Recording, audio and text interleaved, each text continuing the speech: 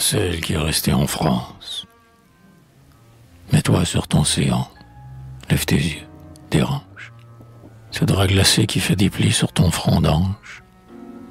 Ouvre tes mains et prends ce livre. Il est à toi. Ce livre où vit mon âme, espoir, deuil, rêve, effroi. Ce livre qui contient le spectre de ma vie, mes angoisses, mon aube, hélas, de pleurs suivis, l'ombre et son ouragan, la rose et son pistil. Ce livre azuré, triste, orageux, d'où sort-il? D'où sort le blâme éclair qui déchire la brume? Depuis quatre ans, j'habite un tourbillon d'écume. Ce livre en a jailli. Je dictais, j'écrivais, car je suis pareil au vent. Va, dit l'esprit. Je vais.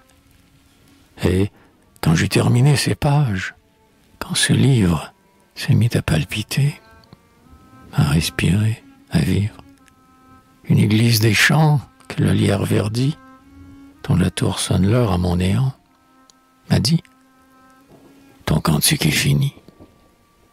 Donne-le-moi, poète. Je le réclame, a dit la forêt inquiète. Et le doux prix fleuri m'a dit Donne-le-moi. La mère, en le voyant frémir, m'a dit Pourquoi ne pas me le jeter, puisque c'est une voile? C'est à moi qu'appartient cet hymne, dit l'étoile. Donne-le nous, songeur, ont crié les grands vents. Mais les oiseaux m'ont dit Vas-tu pas aux vivants offrir ce livre, éclos si loin de leur querelle? Laisse-nous l'emporter dans nos nids sur nos ailes. Mais le vent n'aura point mon livre, aux cieux profonds, ni la sauvage mer, livrée au noir typhon, ouvrant et refermant ses flots, âpres embûches, ni la verte forêt qu'emplit un bruit de ruche, ni l'église où le temps fait tourner son compas. Le pré ne l'aura pas, l'astre ne l'aura pas, l'oiseau ne l'aura pas, qu'il soit aigle ou colombe, les nids ne l'auront pas. Je le donne à la tombe.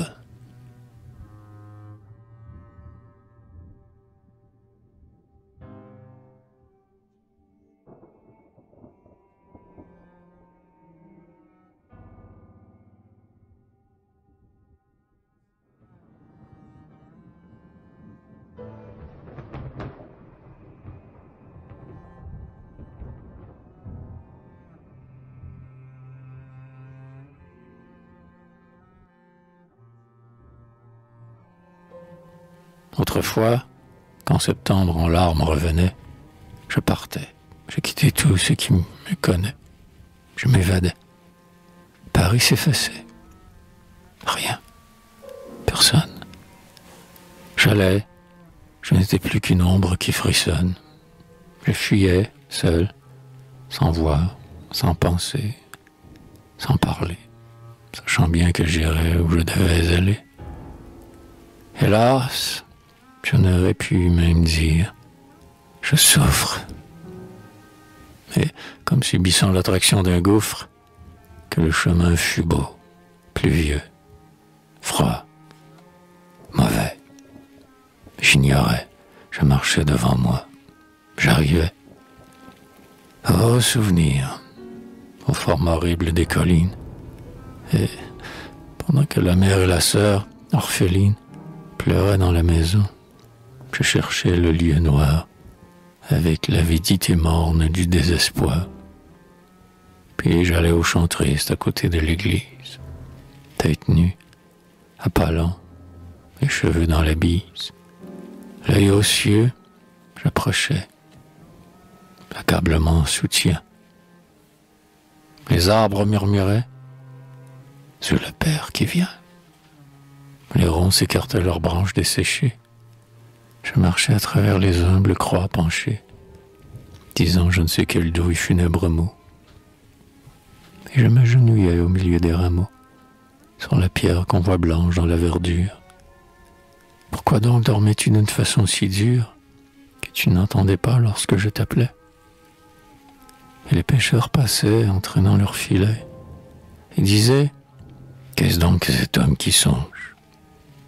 Et le jour, et le soir, et l'ombre qui s'allonge, et Vénus, qui pour moi jadis étincela, tout avait disparu, que j'étais encore là. Puis était là, suppliant celui qui nous exauce. J'adorais, tu laissais tomber sur cette fosse, hélas, où j'avais vu s'évanouir mes cieux, tout mon cœur goutte à goutte en pleurs, silencieux. J'effrayais de la sauge et de la clématite. Je me la rappelais quand elle était petite, quand elle m'apportait des lys et des jasmins, quand elle prenait ma plume dans ses mains. Gai, et rien d'avoir de l'encre à ses doigts roses. Elle respirait les fleurs sur cette cendre éclose. Je fixais mon regard sur ces froids gazons verts. Et par moments, ô oh Dieu, je voyais à travers la pierre du tombeau comme une lueur d'âme. Ouais, jadis, quand cette heure en deuil qui me réclame, teintait dans le ciel triste et dans mon cœur saignant. Rien ne me retenait, et j'allais. Maintenant, hélas, ô fleurs, ô bois, vallon dont je fus l'hôte, elle sait, n'est-ce pas, que ce n'est pas ma faute, si, depuis ces quatre ans, pauvre cœur sans flambeau, je ne suis pas allé prier sur son tombeau.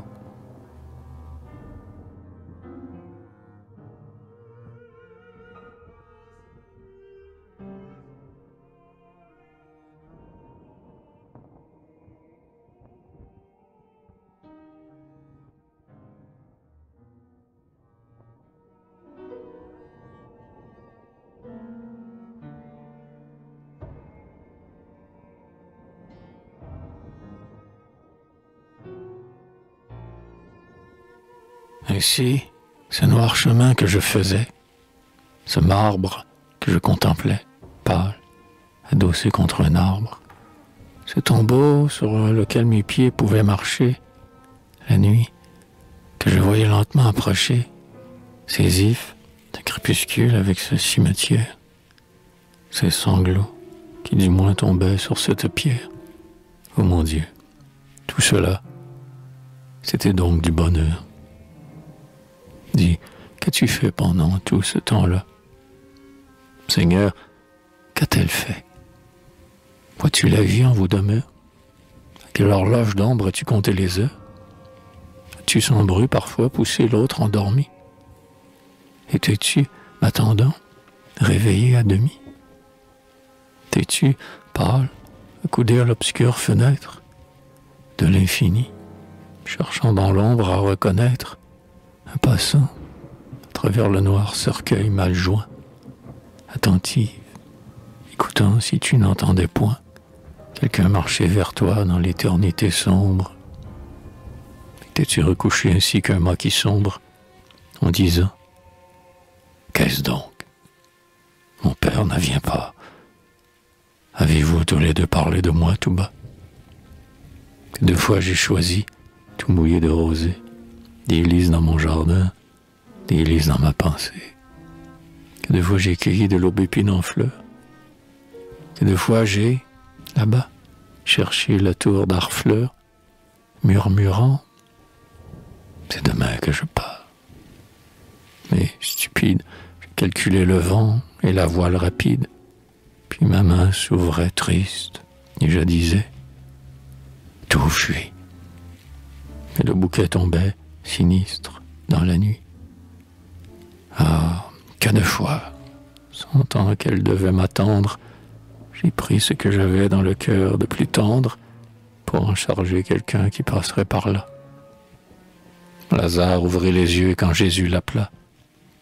Quand je lui parle, hélas, pourquoi les ferme-t-elle Où serait donc le mal quand de l'ombre mortelle L'amour violerait deux fois le noir secret. Et quand ce qu'un Dieu fit un père le ferait.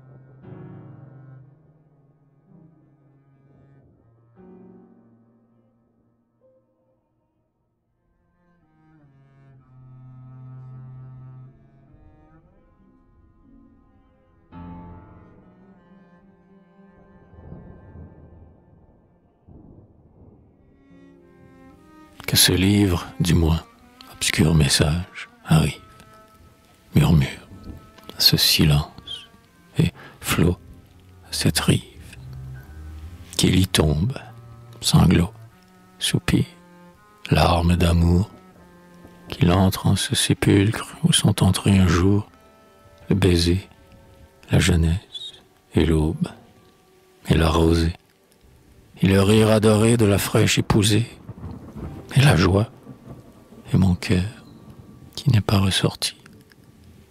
Qu'il soit le cri d'espoir qui n'a jamais menti, le chant du deuil, la voix du parle à Dieu qui pleure, le rêve dont on sent l'aile qui nous effleure. Qu'elle dise, quelqu'un est là, j'entends du bruit, qu'il soit comme le pas de mon âme en sa nuit. Ce livre, légion tournoyante et sans nombre, d'oiseaux blancs dans l'aurore et d'oiseaux noirs dans l'ombre, ce vol de souvenirs fuyant à l'horizon, cet essaim que je lâche au seuil de ma prison. Je vous le confie, air, souffle, nuée, espace, que ce fauve océan qui me parle à voix basse, lui soit clément, l'épargne et le laisse passer, et que le vent ait soin de n'en rien disperser et jusqu'au froid caveau fidèlement apporte ce don mystérieux de l'absent à la morte.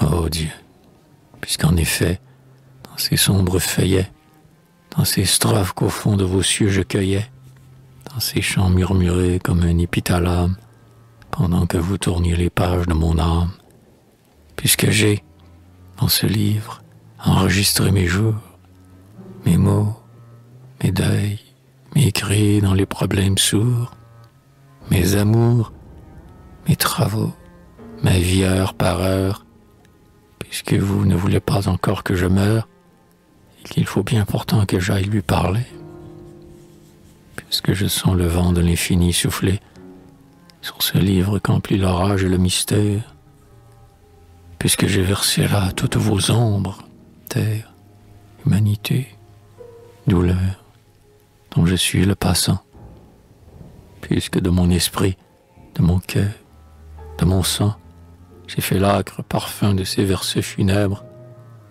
Va-t'en, livre, à l'azur, à travers les ténèbres, fuyez vers la brume où tout à pas est conduit. Oui, qu'il vole à la fosse, à la tombe, à la nuit, comme une feuille d'arbre ou comme une âme d'homme, qu'il au gouffre ou va tout ce que la voix nomme, qu'il tombe au plus profond du sépulcre hagard, à côté d'elle, aux morts, et que là, le regard, près de l'ange qui dort, lumineuse et sublime, le voit épanoui, sombre fleur de l'abîme.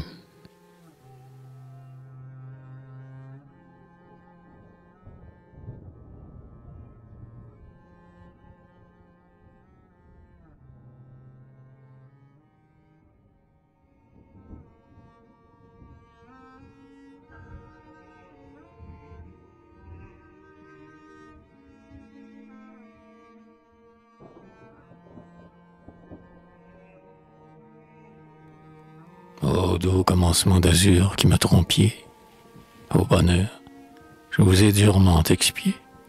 J'ai le droit aujourd'hui d'être, quand la nuit tombe, un de ceux qui se font écouter de la tombe, et qui font, en parlant aux morts blâmes et seuls, remuer lentement les plis noirs des linceuls, et dans la parole, âpre ou tendre, émue les pierres, les grains dans les sillons, les ombres dans les bières, la vague et la nuée, et devient une voix de la nature, ainsi que la rumeur des bois.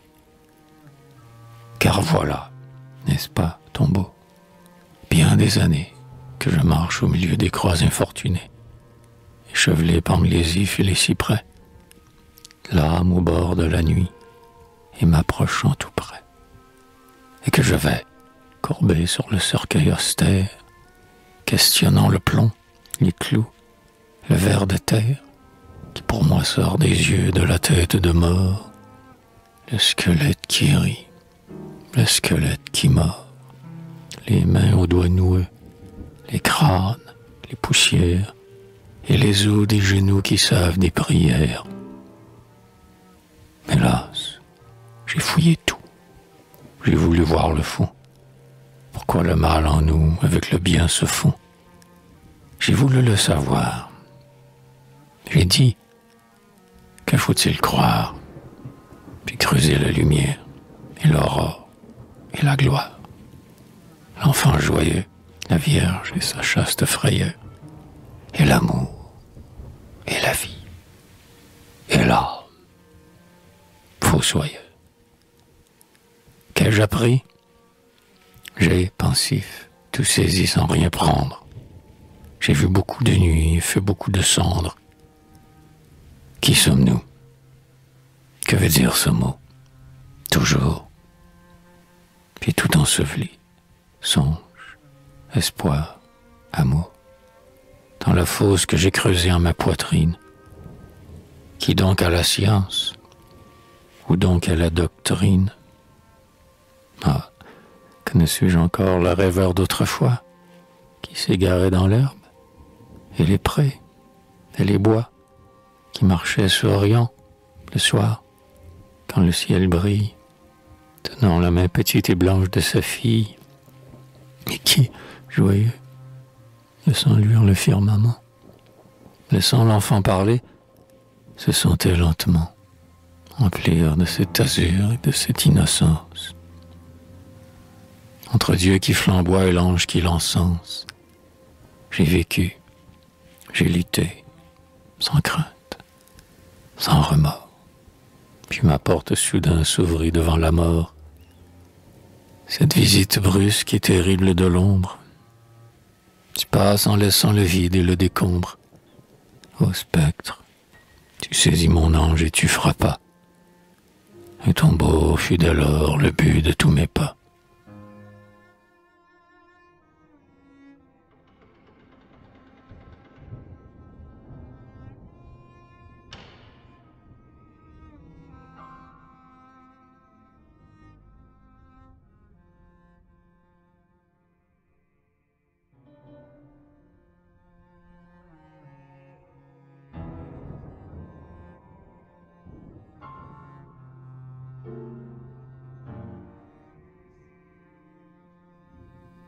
Je n'ai pu plus reprendre aujourd'hui dans la plaine mon sentier d'autrefois qui descend vers la Seine.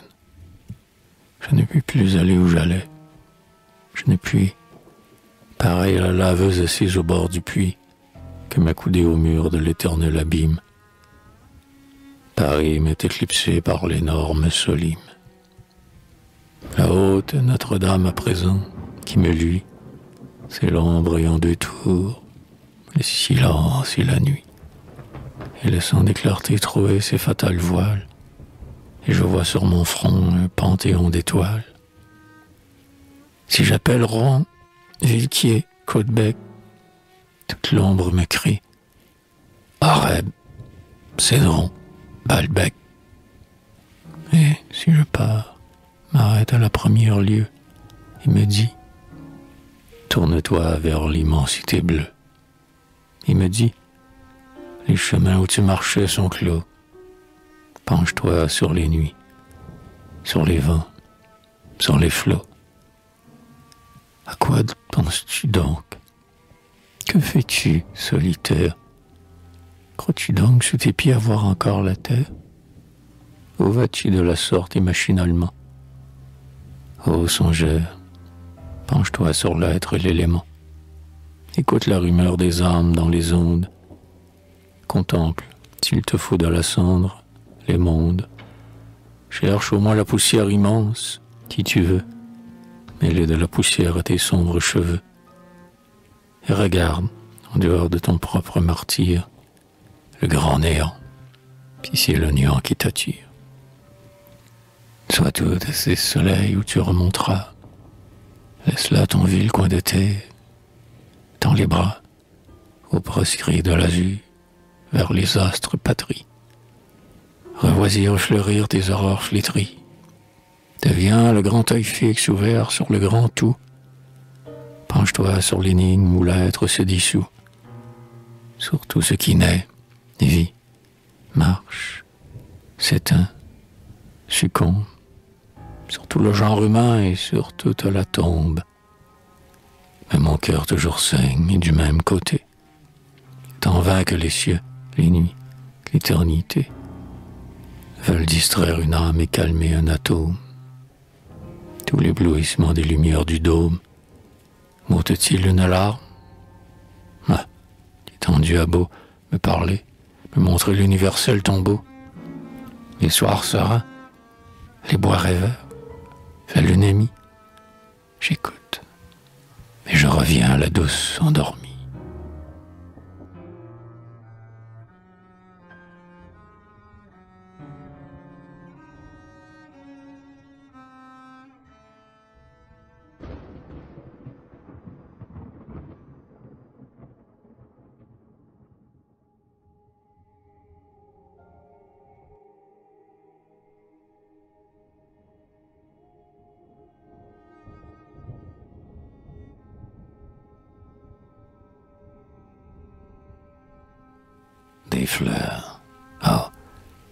J'avais des fleurs, si je pouvais aller semer des lys sur ces deux froids chevets, si je pouvais couvrir de fleurs mon ange pâle, les fleurs sont l'or, l'azur, l'émeraude, l'opale.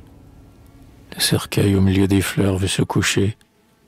Les fleurs aiment la mort, et Dieu les fait toucher par leurs racines aux os par leur parfum aux âmes, puisque je ne le puis, au lieu que nous aimâmes, puisque Dieu ne veut pas nous laisser revenir, puisqu'il nous fait lâcher ce qu'on croyait tenir, puisque le froid destin, dans ma geôle profonde, sur la première porte en scelle une seconde, et sur le père triste et sur l'enfant qui dort, ferme l'exil après avoir fermé la mort, puisqu'il est impossible à présent que je jette.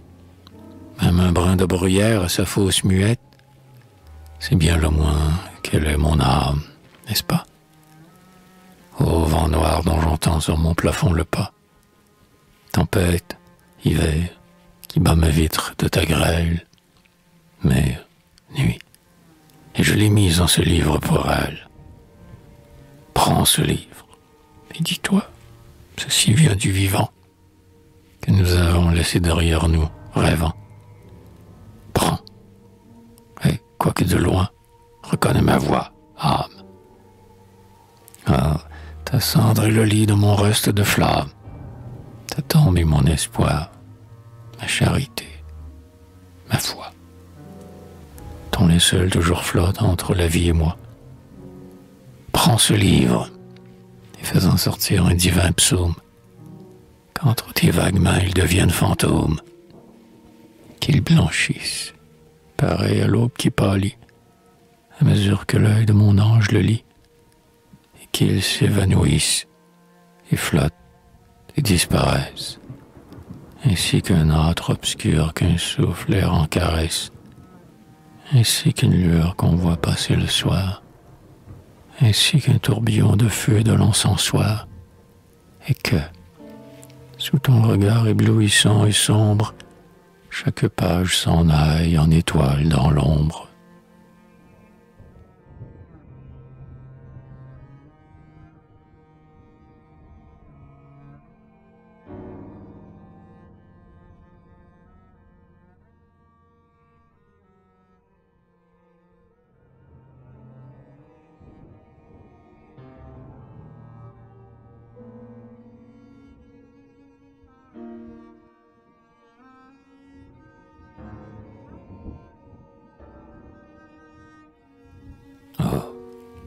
Quoi que nous fassions et quoi que nous disions, soit que notre âme plane au vent des visions, soit qu'elle se cramponne à l'argile natale, toujours nous arrivons à ta grotte fatale, Gethsemane, qu'éclaire une vague lueur. Ô rocher de l'étrange et funèbre sueur, cave où l'esprit combat le destin, ouverture sur les profonds effrois de la sombre nature, entre d'où le lion sort rêveur, en voyant quelqu'un de plus sinistre et de plus effrayant. La douleur entrée, pâle, amère, échevelée.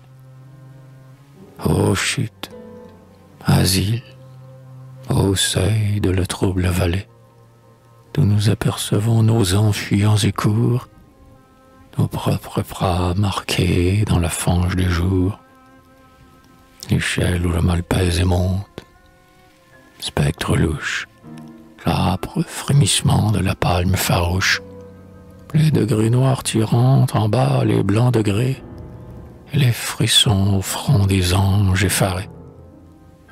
Toujours nous arrivons à cette solitude.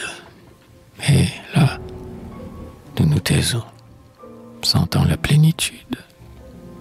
Paix à l'ombre, dormez, dormez, dormez, dormez. Être, groupe confus lentement transformé. Dormez les champs, dormez les fleurs, dormez les tombes. Toit, mur, seuil des maisons, des catacombes, feuilles au fond des bois, plumes au fond des nids. Dormez, dormez, brin d'herbe, et dormez, infini. Calmez-vous, forêt, chêne, érable, frêne, mieuse. Silence sur la grande horreur religieuse, sur l'océan qui lutte et qui ronge son mort, et sur l'apaisement insondable des morts. Paix à l'obscurité muette et redoutée, paix au doute effrayant, à l'immense ombre athée. À toi, as-tu, cercle et centre, âme et milieu, fourmillement de tout, solitude de Dieu. Ô génération brumeuse à l'aine, reposez-vous, pas noir qui marchez dans les plaines. Dormez, vous qui saignez. Dormez, vous qui pleurez. Douleur, douleur, douleur. Fermez vos yeux sacrés. Tout est religion aérienne est imposture sur toute existence et toute créature, vivant du souffle humain ou du souffle animal, debout au seuil du bien, croulant au bord du mal, tendre ou farouche, immonde ou splendide, humble ou grande, la vaste paix des cieux de toutes parts descende. Que les enfers dormants rêvent les paradis. Assoupissez-vous, flots, mer, vent. Tandis qu'assis sur la montagne en présence de l'être, précipice où l'on voit pêle-mêle apparaître les créations, l'astre et l'homme, les essieux, ces chars de soleil que nous nommons les cieux, les globes, fruits vermeils des divines ramées, les comètes d'argent dans un champ noir semé, l'arme blanche du drap mortuaire des nuits, les chaos, les hivers, ces lugubres ennuis, pâles, ivres d'ignorance, éblouis de ténèbres, voyant dans l'infini s'écrire des algèbres, le contemplateur, triste et meurtri, mais serein, mesure le problème aux murailles d'airain, cherche à distinguer l'aube à travers les prodiges, se penche frémissant, au puits des grands vertiges,